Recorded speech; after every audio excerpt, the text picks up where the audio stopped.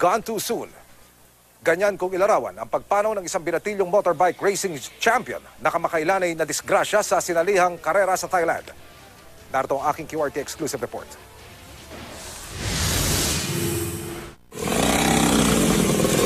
Mula sa pagsakay ng pocket bikes noong 5 years old hanggang pumasok sa mundo ng motorbikes, nahasa at umani ng parangal ang motorbike race champion na si Amber Torres. Ito si Amber. Kamusta? Parang lang. konting ano na lang, advance. Nitong December 5, lumahok si Amber bilang kinatawan ng Pilipinas sa Asia Road Racing Championship sa Buriram, Thailand. Ano ang pakiramdam? Nakabaka doon talaga. Excited ka? Excited. Excited, mas excited. Mas excited ka sa kaba. Game, game, game. Maganda raw ang naging simula ni Amber pero sa third lap ng race 2, nangyari ang kinatatakutan ng lahat. Nadisgrasya sa racetrack si Amber at nawala ng malay. Nakamonitor kami sa TV. Namalabas kasi doon out eh. Or question mark pag nawala ka, nag-crash ka. Lumabas yung question mark, nakita ko. Yun, tumakbo na ako sa, sa pit lane out. Five minutes lang. Paglabas ko ng medical, wala pa sigurong five minutes na ilabas na siya sa medical, naka... Naka ano na siya eh, naka tubo. Apat na araw siyang comatose sa ospital hanggang bawian siya ng buhay.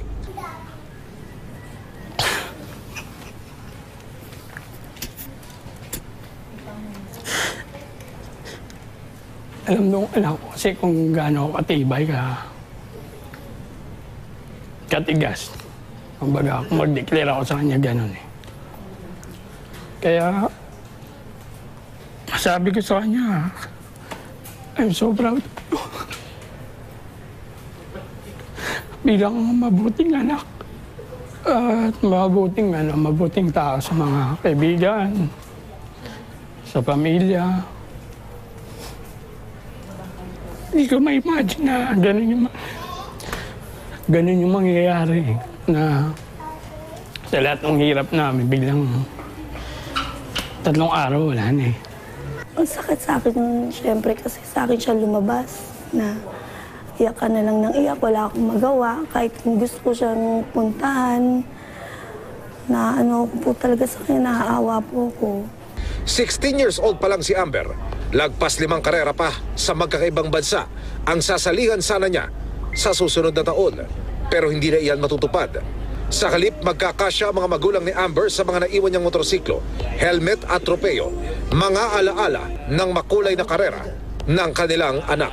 Sabi niya nga eh, "Ah, I was gone for a minute, but I'm back now. Kaya masaya na rin ako kasi baka talagang pinahiram lang siya sa amin dito. Kailangan niya nang bumalik kung nasan siya. Kuya, alam mo na yung gusto ko sabihin sa'yo na always laging pray, manalo matalo. Nandito lang si Mami. Ang mga kapatid mo, tanda mo, mahal na mahal ka namin.